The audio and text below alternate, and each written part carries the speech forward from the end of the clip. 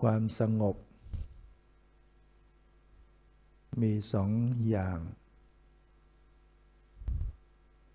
หนึ่งสงบจากอารมณ์สองสงบจากกิเลสที่ว่า ความสุข จากความสงบ ความสงบเป็นความสุขอย่างยิ่ง สงบจากอารมณ์ก็อย่างหนึ่ง สงบจากกิเลสอย่างหนึ่ง ต่างกันยังไงสงบ สงบจากอารมณ์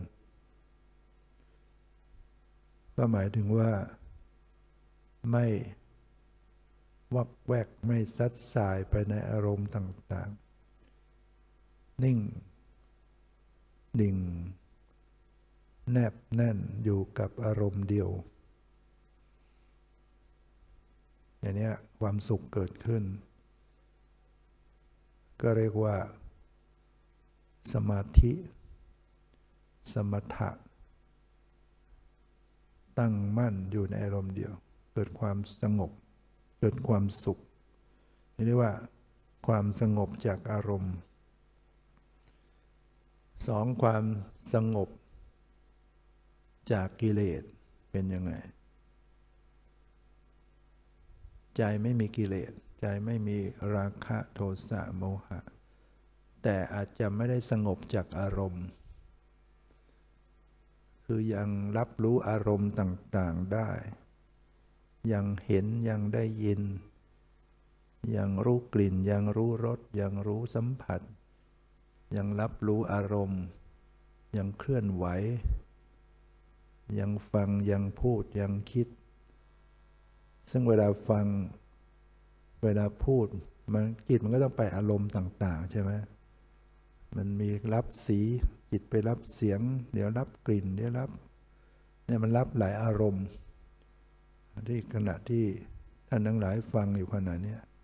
มีหลายอารมณ์ จริงไหม รูปทางตาก็เป็นอารมณ์อันหนึ่งเห็นอยู่เนี่ย เสียงก็เป็นอารมณ์อันหนึ่งที่จิตได้ยินอยู่